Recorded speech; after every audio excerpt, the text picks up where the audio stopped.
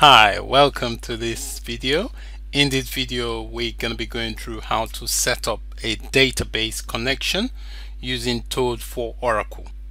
To begin, right click on the Toad for Oracle icon and select Run as Administrator.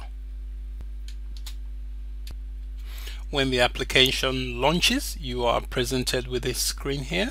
So we need to enter a username for this or a schema. The username would be HR password HR. There are three ways to connect. You can connect via TNS, direct or LDAP. The TNS and LDAP are mainly common within a corporate environment. For a local setup, we're going to be using a direct connection. Okay, so we need to enter a host. The host will be the IP address, which is 127.0.0.1.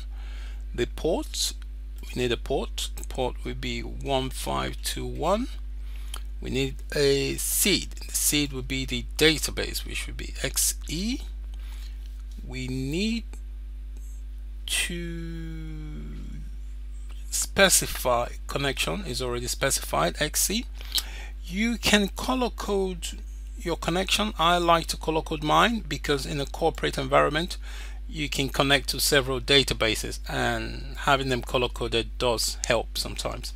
So I'll select navy blue for my connection and my username is in password is in so click connect. If it all checks out okay I should get a connection so I'll click connect hopefully. Just thinking about it. Yes I mean okay so this is the main Toad for Oracle Editor. This is where you'll spend most of your time writing SQL queries.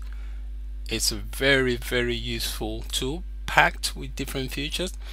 For the purpose of this course, we are going to focus just on the editor. So the editor is what we'll spend most of our time on. Okay, so to test the connection that it can talk to the database, let's do a quick query. So select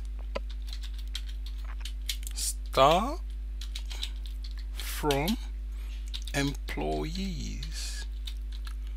Okay what this SQL query is saying I want all the information get all the information. This star means get everything the asterisk.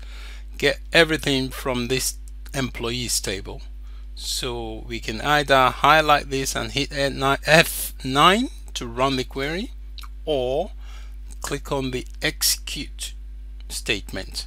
Okay so we'll click on the execute. There you go. So we are connected.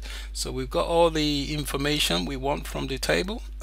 It's saying the rows on the table are 107 total rows and this is the time it's taking to retrieve that information okay? Very very useful too. Okay? So thank you for watching this video on the database connection setup via Toad. In subsequent videos we're going to be spending a lot of time on this editor. So thanks and bye for now